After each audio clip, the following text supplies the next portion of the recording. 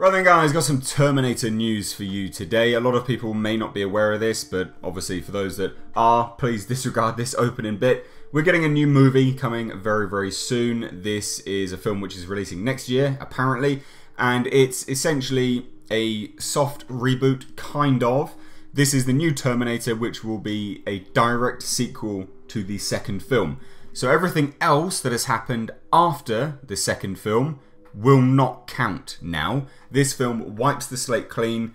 It is being produced by James Cameron, but it is being directed by Tim Miller. And there's a lot of misconception with regards to James Cameron's role in this. A lot of people have said, oh no, he'll be on hand, he'll be on set. He won't be because he's directing his stupid Avatar film. So let's get that completely clear. It's Tim Miller's film. Tim Miller is directing it. Yeah, James Cameron's probably going to be about, but he's not on set. He's not, you know, he's not closely involved in that regard.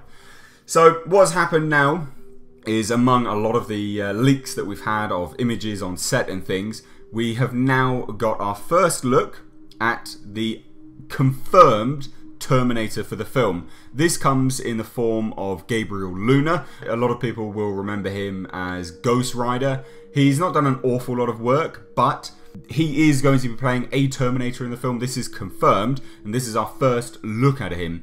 Funnily enough, we can see him first playing a guitar. I assume this is part of his infiltration work. He's just playing a guitar in what can be assumed to be a Mexico looking area.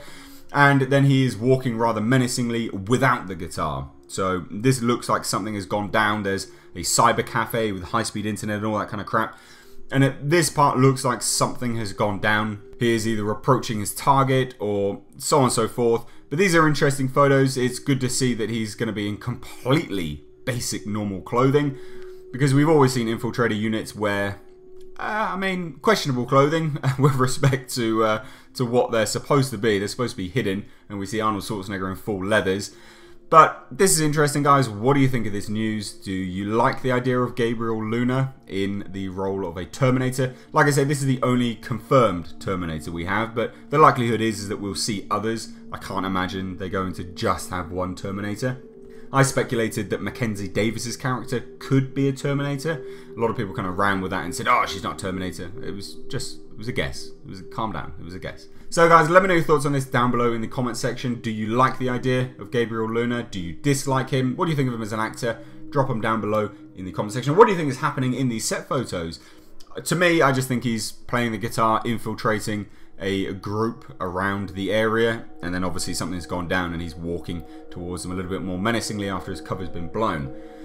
That's my guess, but of course I could be completely wrong. So let me know what you think down below. Guys, if you're new here, hit that subscribe button, give this video a like and a share, that really helps me out. As always, I've been Mr. H, and I'll catch you in the next video.